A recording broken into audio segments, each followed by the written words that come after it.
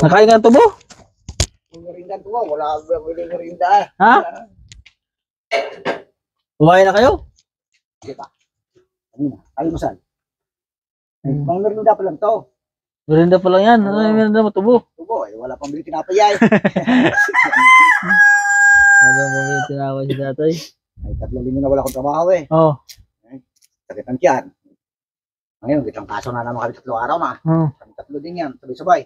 Puso nga pong lagnat ngayon. Hindi lang, hindi lang kapaya kong dalawa yan eh. Hmm. Bali, merinda po lang ni tatay gamay ay tubo. Talagay niyo dito. Kumusta naman? Ayos lang, dati ganito may sakit ako eh. Hmm. Nakatyaga naman ng araw-araw. Nakaka, ano, nag, yung mga sinakabungal, nagbibigay naman sa inyo. Wala pa, hindi pa siya nasahod dun eh. Bakit?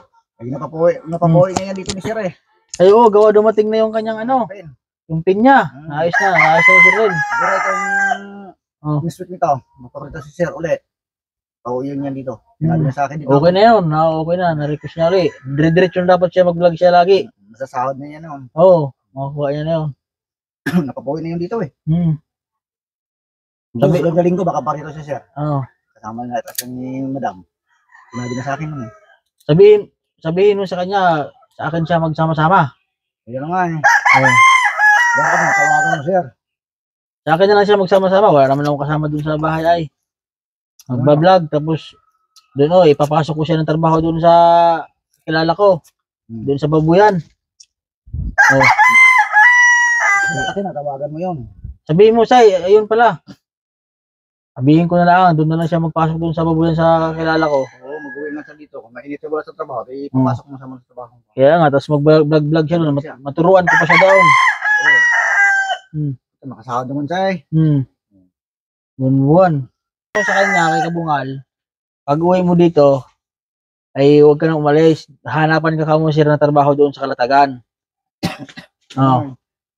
Para yung sakali man, maturuan namin siya, matulungan namin siya. Oh. Kung hindi na ito sa Sabado yan dito, gawa ng kailangan Hmm. din. Kausapin ko si Madam doon, ma- mapasok ko siya ng trabaho doon sa Kabungal para malapit sa amin. Hmm. Eh doon malayo sa Maynila. Eh, magkano bang sahod niya doon buwan-buwan? For biyahe mo yun. Magkano Depende sa layo. depende sa layo? Yung mayroon minsan malayo, Ah. nag-aabot ng 600 isang biyahe. Hmm. May overtime yun eh. Overtime. Pag malapit, pa, puro porte.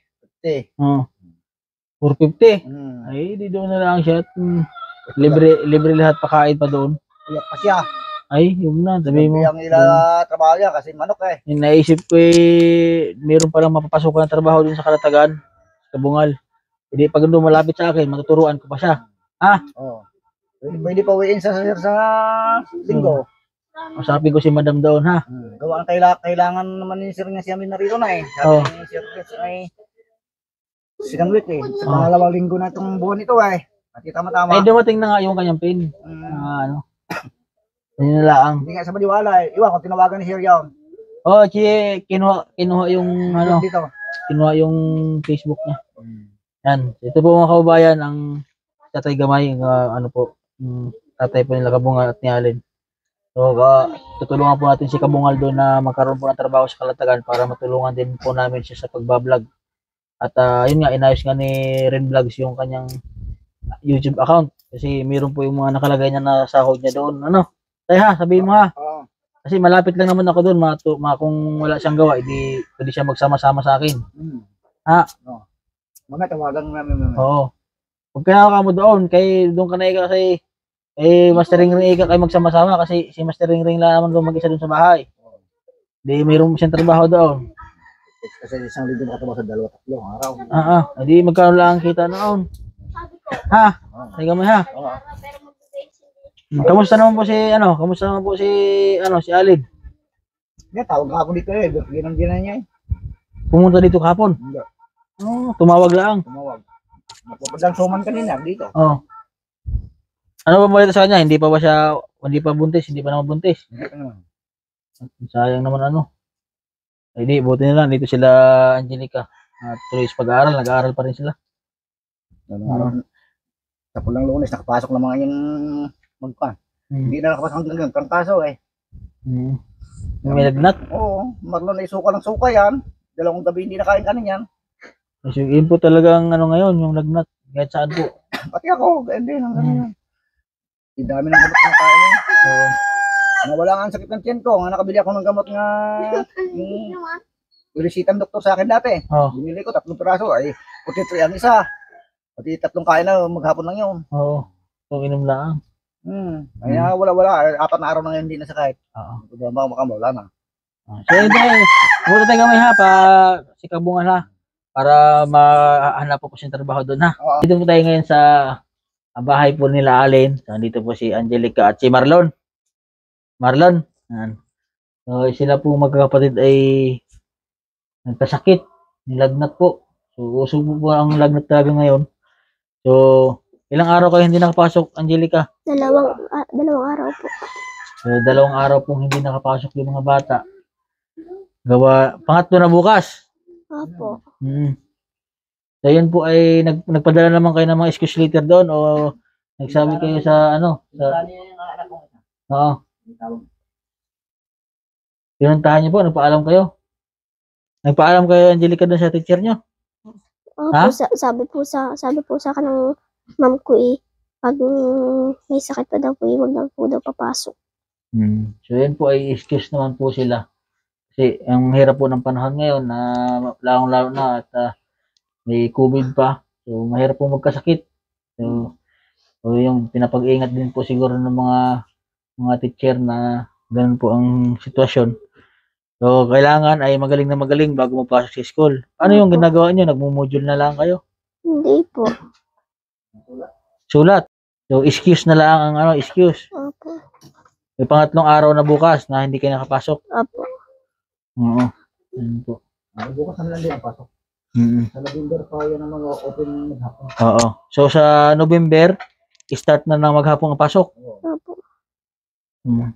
Kamusta naman ang pag-aaral nyo, Marlon? Okay naman po. Yung mga grades nyo, kamusta naman? Okay naman. Ang madam Tingnan yung madam niya. May mga grades kayo, pinatinanin ni madam yung mga grades nyo. So mag-aaral kayo na mabuti ha. Ilang, anong grade na ngayon? Anong grade ka na ngayon? Grade 2 Jenny? po. So grade 2. So apat na taon na lang, mag-grade 6 ka na, graduate ka na. Tapos, ilang taon ka na ngayon, Angelica ngayon? 10 po. 10 years old ka na. Si Marlon, 13. 13. Anong grade na si Marlon ngayon? Grade 1. Grade 1. So, ang gagawin natin, Marlon, at ah, kung ikaw ay ah, mag-aaral na mabuti, tapos pag-graduate ng grade 6, pwede kayo mag-aaral sa ALS. At least kasi marunong na kayo magbasa, marunong kayo magsulat. O nakagraduate kayo ng grade 6 kasi nasa tamang edad naman na kayo, pwede kayong mag-aaral doon sa ALS at diretso na kayo ng grade 11 high school na yon pag, naka, pag nakagraduate kayo doon, diretso na kayong grade 11, tapos grade 12. Oh, tapos pagkatapos ng grade 12, pag nakagraduate ng grade 12, pwede na magtrabaho. Oh, pag may pag paaral pa yung mga sponsor nyo, mag-aral ng college. Oh, mabilis lang ang panahon. Ha? Angelica ha? Hmm. Marlon. Ha? Aral na mabuti Marlon ha? Huwag mong isipin na yung edad-edad. Ha? Kasi ikaw ba ay ki- kinakantsawan ba kayo ng mga klase nyo? Ha? Angelica? Hindi naman po. Na, tinatawag po po sa akin ng ate. Ah, ibig sabihin, eh, tina, ano, tinatawag, tinatawag ka pa ng ate. Opo. Oo. Hindi ka naman nila inaaway. Hindi. Baka ikaw nang away. Hindi po. Ha? Hindi. Oh, huwag kayo mang away ha. Oo. Wala rito yung anak niya. Sa Oo. oh. panganay ko, wala rito di ba ngayon mo pa. Oo. So, kailangan yung mga klase nyo, kayo yung kuya at ate, so, kailangan kayo yung ah, mag-alaga sa kanila. Pag may mag-away, ay, mag, ano nyo, sawayin nyo. Kung may mga kulit, sawayin nyo, tulungan yung teacher nyo, ha? Angelica, ha? Ilan nga po sila, ilan nga kayo nag-aaral? Tatlo po. Katlo, si Marlon, ikaw, Yan niyo po. si Ruli. Si Ruli, anong year na ngayon? Grade 10. Aba, grade 3 na, gagraduate na pala si Ruli ngayon, ano? Oh, kita mo si Kuya Ruli mo, oh. Pag nakagraduate ng, ng grade 11, grade 12 yun, ah, pwede na makapagtrabaho. Oh. Oh, tsaga-tsaga lang, ha? Kasi pag may pangarap sa buhay, ay maganda ang kinabukasan. Ano? Oo. Kasi pag nakagraduate ka ng pag-aaral, oh, kahit saan pumunta, pag may diplomang graduate ng college, may pinagtapos sa pag-aaral, ay makapaghanap ng trabaho. Ha? Angelica ha? Opo. Yan. So, yan po mga kababayan. So, ito po yung update po sa pamilya po nila Alin at Tatay Gamay. Ayan. Sa mga nais po magbigay pong tulong po para sa, sa kanila, lalo, lalo na po sa pambili po ng gamot po ni Tatay Gamay dahil po ay siya po ay mayroong karamdaman sa kanyang katawan. So, ah, mag-message lang po sa aking Facebook page, Mastering Ring Channel po. At uh, huwag niyo pong kalimutang i-like at share po at ah, comment. At lang lalo sa hin- hindi po pag skip ng ads. Ayan po. At huwag niyo po kalimutang i-subscribe po yung aking YouTube channel, Mastering Green Channel po para po at lumawak pa yung ating channel ah, at at ma ma-achieve po natin yung hinihingi ni YouTube na magkaroon po tayo ng ah, silver button. Ayan. Si Ren Vlogs ay nagkaroon na. So tayo ay medyo malaki-laki pa ang kulang. So tsaga-tsaga lang po. Ayan, makakarating din tayo sa ating ah, mission. Ayan. Yan po mga kababayan, maraming maraming salamat sa lahat po ng mga viewers natin at subscriber po natin. Sa mga hindi po nag-skip ng ads, maraming maraming salamat po sa inyo. At sa mga solid viewers po natin dyan, shout out po sa inyo lahat. At sa mga sponsor po natin, kay Mr. Binici, kay Ma'am Hernieta Solidad, yan, sa, sa, ating kababayan po na nagbibigay tulong din. Yan, maraming maraming salamat sa inyong lahat. Yan, sa lahat po ng mga anonymous pong sponsor po natin, maraming maraming salamat po sa inyong lahat po mga kababayan. Ito na lang po yung vlog ko. At ah, magandang umaga po sa ating lahat. God bless po. Yan.